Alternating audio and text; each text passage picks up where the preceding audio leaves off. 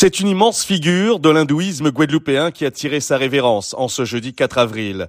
Micheline Ange Soubdan, dite Mancipale, était âgée de 98 ans. Une vie consacrée à la pratique du culte hindouiste en Guadeloupe dès sa tendre enfance. Elle fut dans les pas de sa grand-mère à l'origine du premier édifice du temple Shingam Kovil, bien connu dans sa commune du Moule. Mais ce sont surtout les nombreuses années jusqu'à ces temps-ci passées aux côtés de son mari défunt Pessipal et de ses fils dans son temple de Boivin dédié à la déesse Kali qui vont lui valoir toute la reconnaissance de et générations d'indo-descendants de la Guadeloupe certes, mais aussi de la Martinique, de Trinidad et de Métropole.